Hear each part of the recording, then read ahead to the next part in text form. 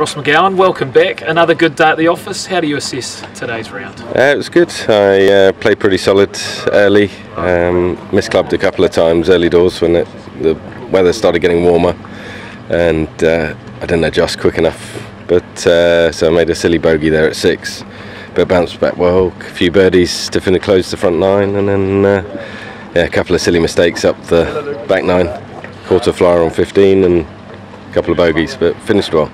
Yeah, those mistakes sometimes come. How impressed with you with the way you bounced back to finish with two birdies in the last three?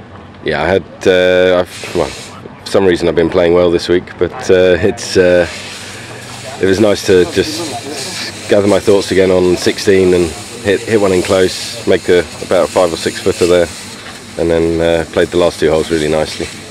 Nice. Well, you're currently leading the championship. How does that feel going into the weekend? It sounds pretty cool. Yeah, it's good. It's good. Looking forward to it. Hopefully, uh, put uh, some more rounds together similar to the first tee. Nice. We look forward to watching, mate. Well done. Cheers. Thank you.